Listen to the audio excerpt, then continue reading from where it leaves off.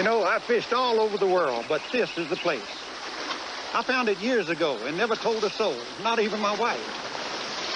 I even made everybody doing this commercial swear they'd never tell.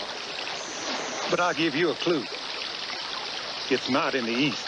If you really want to explore the West, take off with someone who knows the territory.